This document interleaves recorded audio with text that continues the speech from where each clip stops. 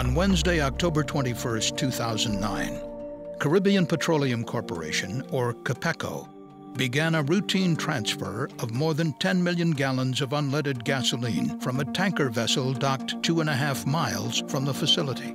The only storage tank that was large enough to hold a full shipment of gasoline was already in use. As a result, Capeco planned to distribute the gasoline among four smaller storage tanks. This operation would take more than 24 hours to complete. During transfer operations, one Capeco operator was stationed at the dock while another monitored valves controlling gasoline delivery at the terminal. By noon the next day, October 22nd, two of the tanks were filled with gasoline. The operators then diverted the gasoline into two other tanks, tanks 409 and 411. Capeco used a simple mechanical device consisting of a float and automatic measuring tape to determine the liquid level inside the tanks. An electronic transmitter card sent the liquid level measurements to the control room, but the transmitter card on tank 409 was out of service, so operators were required to manually record the tank level readings once every hour.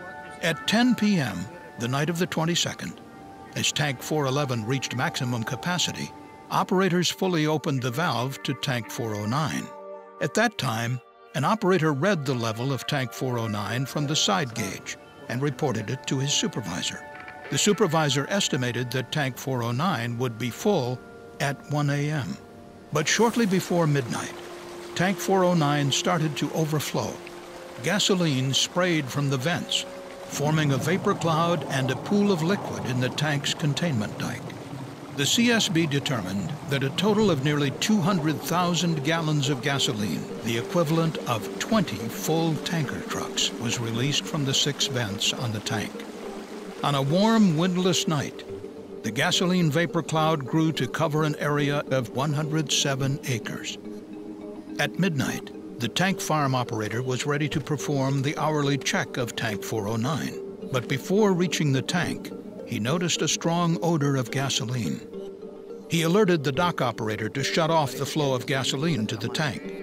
The tank farm operator and another operator met the supervisor at the edge of the terminal. There they observed a white fog rising approximately three feet above the ground. The supervisor sent one operator to the security gate to stop anyone from entering the site. Then the supervisor and the tank farm operator drove to an elevated point away from the cloud to try to identify the source of the leak. Meanwhile, the pooled gasoline flowed through open valves in the containment dike toward the wastewater treatment area. There, the vapor reached electrical equipment, which ignited the cloud. Flash fire raced back toward the storage tanks. Seven seconds later, there was a massive explosion, registering 2.9 on the Richter scale. The time was 1223, approximately 26 minutes after the overflow began. Soon, 17 of the facility's storage tanks were engulfed in flames.